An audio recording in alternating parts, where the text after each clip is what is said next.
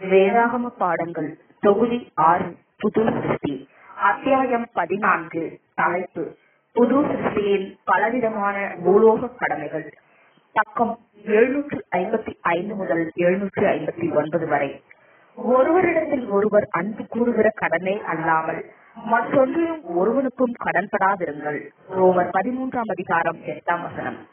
என்கிற கட்டளை நாம் ஏதாவது ஒரு வேளையில் கவனக்குறைவால் இந்த திவ்ய ஞானத்திற்கு மாறாக மற்றவர்களுக்கு கடன்பட்டிருந்தால் நாம் ஒவ்வொரு முறையான வழியிலும் மரியாதையான வழியிலும் கடனை ரத்து செய்ய நாட வேண்டும். நம்முடைய கடனை திருப்பிக் கொடுக்க வேண்டும் என்பதை குறிக்கிறது. ஆன போதிலும் கடன் வியாபாரத்தின் நிமித்தம் ஏற்பட்டிருந்தால் கடனை கொடுத்தவர் அபாயகரமான ஒன்றை செய்கிறோம் என்று அறிந்து லாபம் சம்பாதிக்க வேண்டும் என்று செய்திருந்தால் கடன் உண்மையாகவே வியாபாரத்தில் ஏற்பட்ட நஷ்டத்தினால் வந்திருந்து சட்ட பாதுகாப்பை இழந்திருந்தால் முக்கியமாக அவர்கள் சுபாவம் மாறுவதற்கு முன்னால் புது சிருஷ்டி ஆவதற்கு முன்னால் செய்யப்பட்டிருந்தால் நாம் இப்பொழுது அறிந்துள்ளபடி திவால் அளிக்கும் உதவிக்கு புது சிருஷ்டி விண்ணப்பிக்கலாம். அல்லது ஒரு கடனோ அல்லது கோர்ட் தீர்ப்போ ஐந்து வருடம் கழித்து மறுபடியும் நீதிமன்றத்தில் புதுப்பிக்கப்படாவிடில் அல்லது ஒருவர் தனிப்பட்ட முறையில் வாக்குறுதி அளிக்காவிட்டால் காலாவதியாகி விடுகிறது என்பதை தனக்கு சாதகமாக்கிக் கொள்ளுவது தவறல்ல. இப்படியான ஒரு முறைக்கு வேதாகம உதாரணம். நிழலான இஸ்ரேலுக்கு கொடுக்கப்பட்ட பிரமாணத்தில் உள்ளது. அதாவது ஏழாவது ஓய்வு வருடத்தில் கடன் தள்ளுபடி செய்யப்படுகிறது. மேலும் ஐம்பதாவது வருட யூபிலியில் செலுத்தப்பட வேண்டியவைகள் அனைத்தும் தள்ளுபடி செய்யப்படுகிறது. இந்த திவ்ய ஒழுங்கில் உள்ள ஞானத்தை உலகம் அறிந்துள்ளது. அநேக தேசங்கள் தங்களுடைய அரசியல் சட்டங்களில் அவைகளை உறுதிப்படுத்தியுள்ளது. புது சிருஷ்டிகள் இந்த உலக பிரகாரமான ஒழுங்குகளை தங்களுக்கு அனுகூலம் ஆக்கிக் கொண்டு திவ்ய சித்தத்திற்கு இசைவாக இப்படியான கடன்களை குறித்து ஆறுதல் படலாம். ஆனால் தேவனுடைய அருளினால் இதன் பின்னர் பூரணமாக ஆசிர்வதிக்கப்படுவார்கள் என்றால் அப்பொழுது சந்தேகமின்றி முக்கியமான பொன்னான கற்பனை. சட்டத்தின்படி அது ஒன்றுமில்லாமல் ஆக்கப்பட்டிருந்தாலும் கூட எல்லா கடன்களையும் செலுத்த வேண்டியதின் அவசியத்தை உத்தரவிடும். ஆனாலும் அது வியாபார கடனாக இல்லாவிட்டால் ஆனால் நட்பினால் வாங்கிய கடனாயிருந்தால் பணம் இரவலாக வாங்கப்பட்டது அல்லது கடனாக வந்தது என்றால் நண்பன் லாபத்தையோ நன்மையையோ எதிர்பார்க்கவில்லை என்றால் அந்த விஷயம் முற்றிலும் வித்தியாசமானதாகும். இப்படியான கடன் வாழ்க்கை பூராவுக்கும் இருக்கும் என்று எண்ணப்பட வேண்டும். மேலும் அதை செலுத்தும்படியாக எடுக்கப்படும் முயற்சிகள் எப்பொழுதுமே கடன் வாங்கியவரின் வாழ்க்கையில் ஒரு முக்கியமான குறிக்கோளாக இருக்க வேண்டும். ஆனால் நாம் ஏற்கனவே குறிப்பிட்டுள்ளபடி புது சிருஷ்டியின் அங்கமான பின்னர் பரிசுத்த ஆவியின் வழிநடத்துதலின்படி வேதாகமத்தின் வழிநடத்துதலின்படி தெரிந்த புத்தியின் ஆவியின் வழிநடத்துதலின்படி புது சிருஷ்டியின் அங்கங்கள் ஒவ்வொருவரும் கடனாளிகளாக கூடாது. ஆனால் அவர்கள் வருமானத்திற்குட்பட்டு வாழ வேண்டும் என்பது தேவனின் அனுகிரகம் என்று எண்ண வேண்டும்.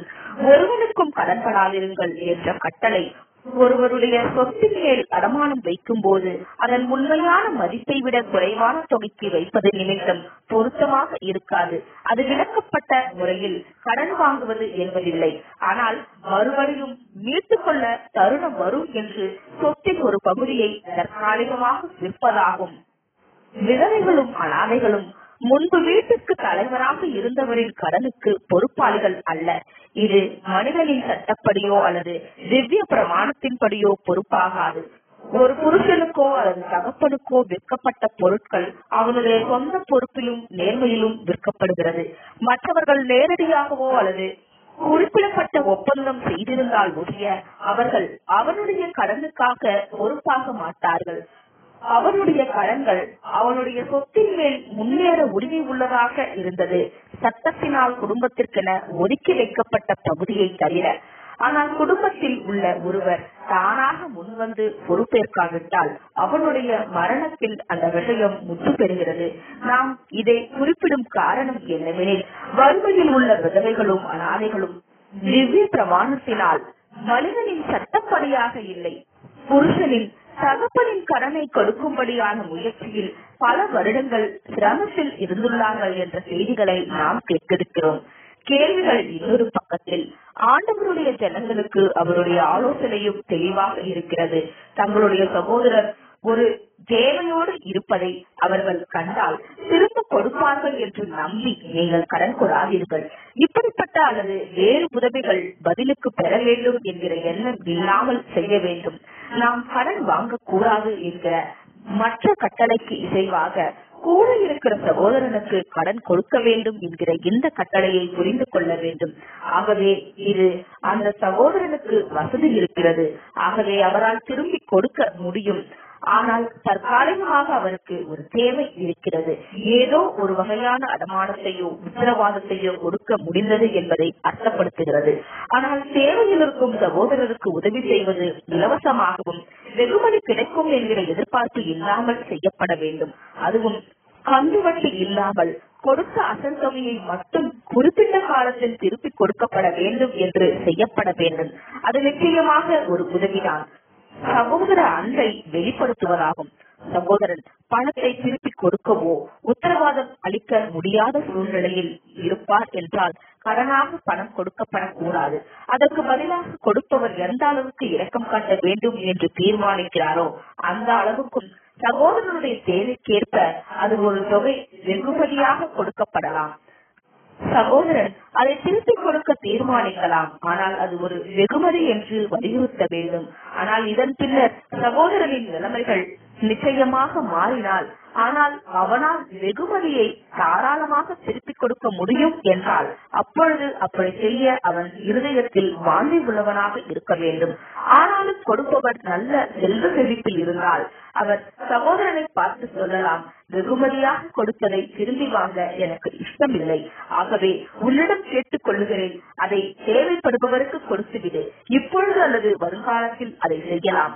ஆனாலும் வியாபாரத்தை பெரிதாக்க வேண்டும் என்கிற நோக்கத்துடன் சகோதரனோ அல்லது வேறு ஒருவரோ கடன் வாங்க நினைத்தால் அதுவும் லாபம் பெற வேண்டும் என்ற நோக்கத்துடன் கடன் வாங்க நினைத்தால் விஷயம் முற்றிலும் வித்தியாசமானதாக இருக்கும்.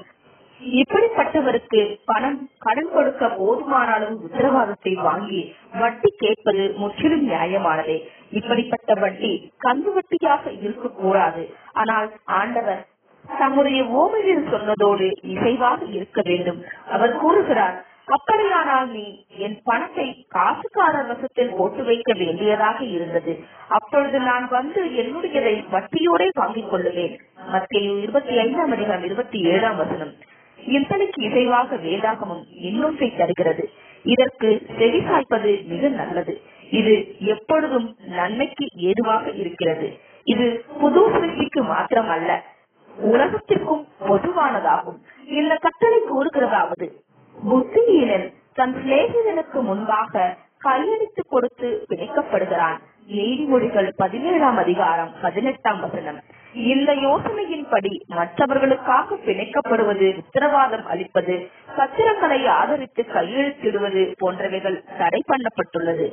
ஆண்டவருடைய ஜனங்கள் எல்லோரும் இந்த விதியை கவனமாக கடைபிடிப்பது ஞானமான செயலாகும். மிக அவசியமான விஷயத்திலும் கூட ஒரு சகோதரனுக்கு பத்திரம் கையெழுத்திட்டு கொடுக்க வேண்டிய மிக அவசியமான தேவை இருந்தாலும் அதிக கேடான விளைவுகளை சந்திக்க வேண்டியது வராதபடி கவனம் கொள்ள வேண்டும். ஒரு சகோதரனுக்கு ஒருவர் விருப்பப்பட்டு கடன் கொடுக்கிற தொகைக்கு பத்திரம் எழுதப்பட்டால் அல்லது தேவை ஏற்படும் ஏற்பட்டுள்ளபடியினால் கொடுத்து உதவுவதனால் அப்பொழுது பத்திரமோ உத்தரவாதமோ அனுமதிக்கப்படும். வேறு விதமாக இருந்தால் கிடையாது. ஆனால் ஒருவருடைய சொந்த கடனுக்கே சங்கடங்கள் வரும் என்றால் அல்லது சொந்த வியாபாரத்துக்கே ஆபத்து வரும் என்றால் இல்லைகளில் ஒருவருடைய குடும்பத்தில் அபிவிருத்தி உண்டு பண்ணுவதற்கு என்றால் ஒருபோதும் கிடையாது. ஒப்பிட்டு பார்க்கவும். நீதிமொழிகள் இருபத்தி இரண்டாம் அதிகாரம் இருபத்தி ஆறாம் வசனம் பதினொன்றாம் அதிகாரம் பதினைந்தாம் வசனம் ஆறாம் அதிகாரம் ஒன்று முதல் ஐந்து வசனங்கள். இதனை தொடர்ந்து வரும் தொகுதிகளை பக்கம் எழுநூற்று ஐம்பத்தி ஒன்பது முதல் அடுத்த பாகத்தில் காணலாம். ஆமே